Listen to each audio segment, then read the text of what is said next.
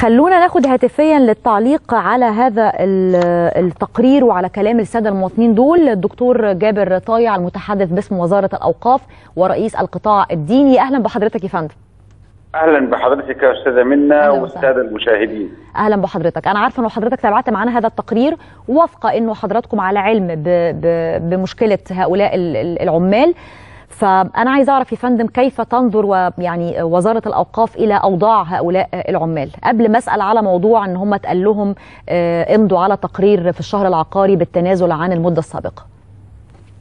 والله يا أستاذة منى هذا كان نزيف في وزارة الأوقاف من عمالة وهمية وتسلل عن طريق العمالة الوهمية وعن طريق ضعاف النفوس الذين كانوا يتاجرون في أرزاق الناس وهؤلاء العمال يعني مساكين وغلابة ومنهم اللي باع ما يملك عشان يحصل على وظيفة ومنهم من كان ولكن تعرضوا لقصة يعني نصب واحتيال من أفراد خارج الأوقاف وقد يكون وقد يكون لا أجزم بذلك معاونة من صغار موظفين كانوا في الأوقاف.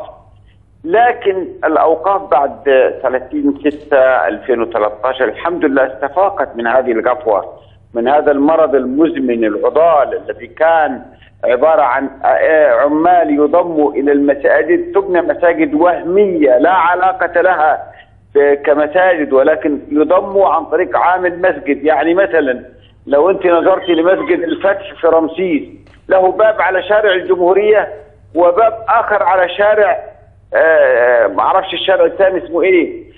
مرة يضم بثلاث عمال باسم مسجد كذا على شارع الجمهورية ومرة يضم باسم مسجد كذا وعليه ثلاث عمال بشارع آخر. وهو المسجد واحد. كانت هذه يعني الحقيقة آه سيل عرم من الفساد. أغلق في عهد معالي الأستاذ الدكتور محمد مختار جمعة بقرار جريء وهو عدم ضم المساجد بالعمالة. طيب. كانت أناس هناك بعض الناس مش مضمومة إلى الاوقاف ولذلك هو أحد في التقرير بيقول لك إيه اشتغلنا 10 سنين وما لناش قرار تعيين. طب كيف واحد يشتغل من غير قرار تعيين؟ هذه القرارات اللي بتعرض فيها سيادتك كلها قرارات ما هم وهمية مسحوبه على سكانر أحيانا ومحو يعني واخدة أرقام أخطاء لكن ليست لها علاقة والموضوع أيوه يا دكتور أي أنا مع حضرتك يا دكتور جابر بس هم هم برضه ذنبهم إيه؟ يعني بافتراض إن هم اتضحك عليهم وأخدوا قرارات وهمية هم ذنبهم إيه يا فندم؟ نعم نعم يا فندم نعم هم النهاية هل العامل ده فعلا اشتغل عدد سنوات معينة ولا لا؟ نعم لا يا فندم اشتغل فين يا فندم اشتغل في الأوقاف؟ لا لا لا هؤلاء هؤلاء موضوعهم في النيابة الآن. إذا ما حكمت النيابة لهم على العين والرأس يأتي بالحكم القضائي ننفذه ونحترم أحكام القضاء كاملة. وبعض قضايا ومعظمهم رفعوا قضايا على وزارة الأوقاف ورفضت هذه القضايا. لكن ما زال هناك قضايا أمام النيابة بتنظر أمام النيابة العامة؟ تنظر يا فندم عندما يأتي بحكم نحمله فوق الأعناق وفوق طيب رؤوس سؤال تاني يا دكتور جابر وأنا أعلم انه حضرتك دقيق في إجاباتك دائما يعني ما صحة ما قيل من بعض هؤلاء المواطنين حتى في التقرير حضرتك سمعته إنه اتقال لهم عايز تتثبت تروح الشهر العقاري تكتب تقرير هناك أو إقرار إنه أنت متنازل عن مدة العمل السابقة.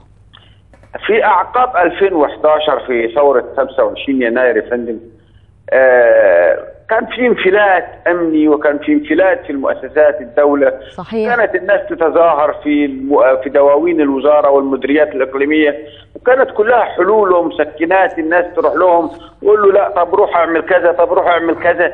كلها حلول كانت مؤقتة لكن لا يجزم أحد إنه هو يقبل عامل آه غير موظف وغير مدرج في في في سجلات وزارة الأوقاف ويضمن له التعيين. لكن هؤلاء ذنبهم في رقبة من حصل منهم على أموال مقابل أنهم يعينهم على وظيفة ولكن باع لهم الوهم. طيب أنا بسأل حضرتك يا دكتور هل حاليا دلوقتي بيقال لبعض هؤلاء المواطنون روح الشهر العقاري لو عايز تتثبت وتنازل عن مدتك السابقة؟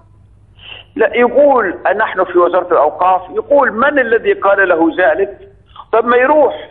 طب ما يروح يعمل تنازل وهناك المحامين يقول له هذا تنازل اذعان لأنه أيوة رجل يطلب حقه أنت بتذعنه اذعان القانون ما حدش مغفل عن القانون أيوه يا دكتور جابر عنه. يا دكتور جابر يعني دلوقتي لو أنا وصلت حضرتك بعدد من هؤلاء المواطنين وقالوا لك الموظف الفلاني اللي قال لنا كذا هل هيتم محاسبته يا دكتور جابر؟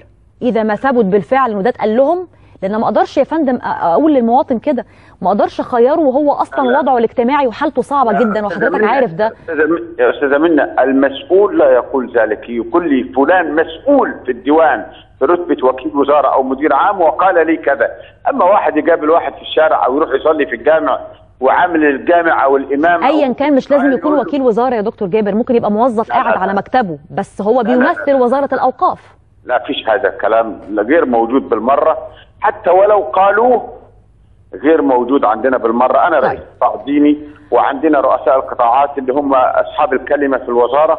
طيب. آه، الموضوع قتل بحثا هذا وأمره في النيابة. ولا رجال اللي قيل وقال وفلان قال لي وفلان قلت له ده كلام طيب إحنا برضو في النهاية يهمنا طالما الموضوع أمام النيابة العامة طبعا هننتظر قرار النيابة ونحترمه أكيد. وبرضو لو في عندي أكتر من شكوى لأن هي الحقيقة تعددت الشكاوى بالنسبة ل- لأنه في ناس اتقال لها رسمي من داخل وزارة الأوقاف روح اتنازل في الشهر العقاري فلو ده بالفعل يا فندم معايا أنا بعد إذن حضرتك حتى خارج الهوا هنوصلهم لحضرتك علشان بس تحقق في الموضوع ده لأنه لو يعني صح ذلك فهناك قدر كبير من الظلم بيقع على المواطن أو العامل وده أكيد حضرتك يا فندم وجميع من يعمل في وزارة الأوقاف مش هيكون راضي عنه. هذا هذا غير موجود. وكلام طبعا يعني موضوع في أروقة المحاكم. وعندما يأتي بحكم قضائي نحن نرحب به. طيب. لكن فلان قال له روح تنازل أو ما تنازلش. آه لو هو كان راح تنازل وكان كان بين لنفسه هل هو حيعين ولا لا. طب واحد يضرب المثل كده ويروح يتنازل على فكرة في في ناس. في ناس يا دكتور جابر عشان كده بقول لحضرتك ممكن نستكمل ده مع بعض لأنه في ناس بالفعل اتنازلت وبرضه ما اتثبتتش. أيوه دليل على إنها وهم ونصب. هذا ليس طب يا حقيقي. فندم ما هو قد يكون هناك بعض الموظفين داخل الوزارة هم اللي بيقولوا المعلومات دي يا فندم. لا الوزارة وزارة الأوقاف ده مش منضبطه قانوني كمان يا فندم. لا لا منضبطة منضبطة. ومفيش حد عندنا يقول هذا الكلام نهائيا. طيب. كل واحد مسؤول عن كلمته. إحنا وزارة دعوية دينية تدعو إلى الفضيلة فلا يمكن ابدا أن يكون إذا كان كان في السابق نظام مترهل وكانت أمور ترتكب في وزاره الاوقاف الآن الحمد لله المنظومة منضبطة ولا يمكن ابدا أحد يصل لهذا السفه ويقول بمثل هذا. بشكرك جزيل الشكر دكتور جابر طايع آه، المتحدث باسم وزارة الأوقاف ورئيس القطاع آه، آه، الديني وهنتابع هذه القضية إن شاء الله ونشوف كمان حكم النيابة آه، هيكون إيه.